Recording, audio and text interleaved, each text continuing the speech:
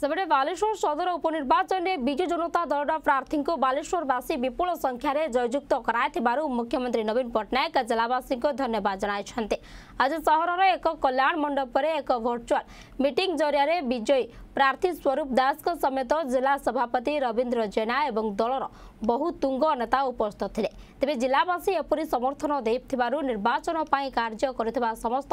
পর্যবেক্ষক এবং নেতামানে সেমানক পাখকু যাই সেমানক ধন্যবাদ জনাইবা পাই মুখ্যমন্ত্রী এই সভারে নির্দেশ দেইথিলে তেবে আগামী দিনরে বালেশ্বর বিকাশ এবং উন্নতি পাই কার্য করিবে বলি কইছন্তে নূতন বিধায়ক স্বরূপ দাস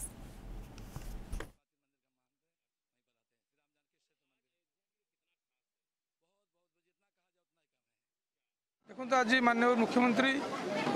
ବିଜୁ ଜନତା ଦଳ ଯେତିକି ଆମର କର୍ମକର୍ତ୍ତା ଯେଉଁ ଇଲେକ୍ସନ୍ ସମୟରେ କାମ କରିଥିଲେ ସମସ୍ତଙ୍କୁ ଉଦ୍ବୋଧନ ଦେଇଥିଲେ ଏବଂ ବାଲେଶ୍ୱର ଯେଉଁ ବିକାଶ ଆଗକୁ ଚାଲିବ ତାର ବାର୍ତ୍ତା ମଧ୍ୟ ଦେଇଥିଲେ কিপরি ভাবে আগামী দিনে যে অবজর্ভর মানে আমার আসিকি প্রত্যেক পঞ্চায়েত ওয়ার্ড স্তর রয়েছে সে পুঁ সে পঠাইবে এবং যে প্রতিশ্রুতি সে দিয়ে সমস্তে তাকে পুনি কিপর ভাবে ରୂପେ କରିହେବ ତା ପାଇଁ ଆହ୍ୱାନ ମଧ୍ୟ ଦେଇଥିଲେ କିନ୍ତୁ ବାଲେଶ୍ୱର ସେ ଦାୟିତ୍ୱ ନେଇଛନ୍ତି ଏବଂ ନେବେ ବିଗତ ଦିନରେ ଯେତେ ପ୍ରକାର ବିକାଶ ବାଲେଶ୍ୱର ହେଇଛି ବିଜେଡ଼ି ବିଜୁ ଜନତା ଦଳ ତରଫରୁ ହେଇଛି ଏବଂ ମାନ୍ୟବର ମୁଖ୍ୟମନ୍ତ୍ରୀଙ୍କ ନେତୃତ୍ୱରେ ହେଇଛି সাড়ে চারি কোটি লোক ওড়িয়া লোক মাননীয় মুখ্যমন্ত্রী উপরে আশা ভরসা রাখিছেন এবং বালেশ্বর বালেশ্বর মধ্যে তাদের অন্যতম নহে